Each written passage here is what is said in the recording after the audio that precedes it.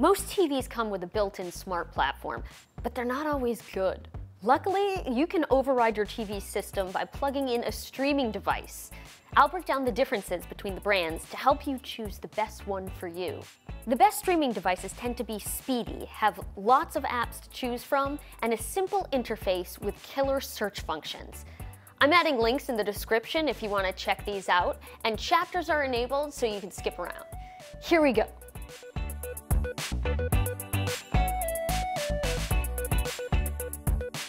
The Roku Express 4K Plus is our pick as our best overall streaming device. Roku is our favorite streaming system because it has everything you'd want in a streaming platform. It's got the widest selection of streaming apps, including the free-to-watch Roku channel, as well as an uncluttered interface and the best search. It's also a content-agnostic platform that doesn't push any one media streaming service provider over another. The Express 4K Plus is one of the cheapest streaming devices with 4K HDR, and it also supports AirPlay, making it easy to connect your Apple device to your TV. At $40, it's $10 cheaper than the company's Streaming Stick 4K, which puts it over the top. But our runner-up is a very close second. The $50 Roku Streaming Stick 4K offers the same functions found on all Roku devices, but additionally comes with Dolby Vision support. In fact, Dolby Vision, along with a stick-like design, is the main difference between it and the Express 4K Plus. It's also why the Streaming Stick 4K is more expensive than its sibling. We think the Streaming Stick 4K is a great device, but we're just not sold on the Dolby Vision upgrade, mostly because we generally don't think it provides a major image quality upgrade over standard HDR. If you can get it on sale, the Streaming Stick 4K is a great buy. The third best on our list is the $40 Chromecast with Google TV 4K. We don't think it's quite as good as the Roku Express 4K Plus, but it comes closer than any other device on the market. The Chromecast does have Dolby Vision compatibility, but its greatest asset is Google Assistant voice search and integration with other Google services like Google Photos and YouTube TV. The interface is more evolved looking than Roku, but ultimately we prefer Roku's simpler approach, no nonsense search results, and lower price. That said, the new Chromecast is the best choice for those already living in Google's world. Google also makes a cheaper HD-only version of the Chromecast called the Chromecast with Google TV HD.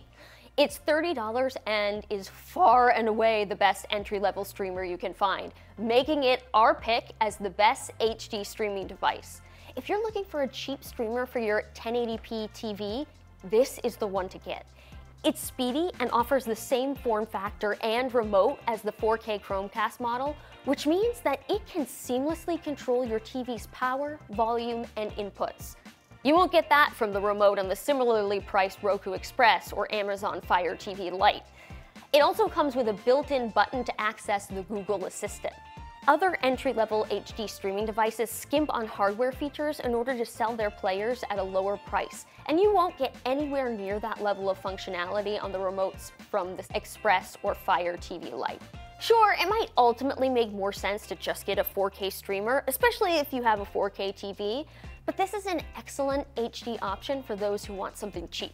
The Fire TV 4K Max is our pick as the fastest streaming device.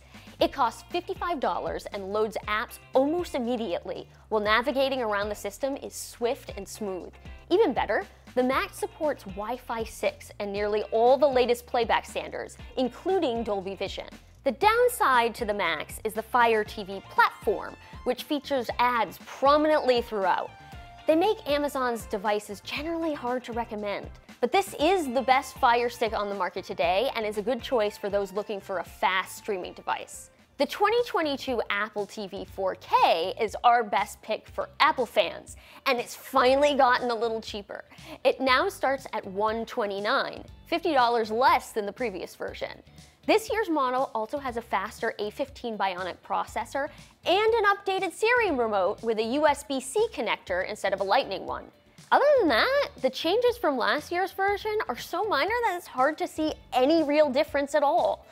It continues to be a good choice for those who want an Apple device for Apple Arcade gaming or to take full advantage of their Apple One subscription. Video purists will appreciate its flexible HDR and TV calibration feature. But for most people, it just isn't worth the money, especially when Roku has nearly all the major apps and AirPlay support. Plus, if you really want Dolby Vision, you can get a Roku Streaming Stick 4K at a fraction of the price. Which streaming device are you thinking of getting? Which one is your favorite?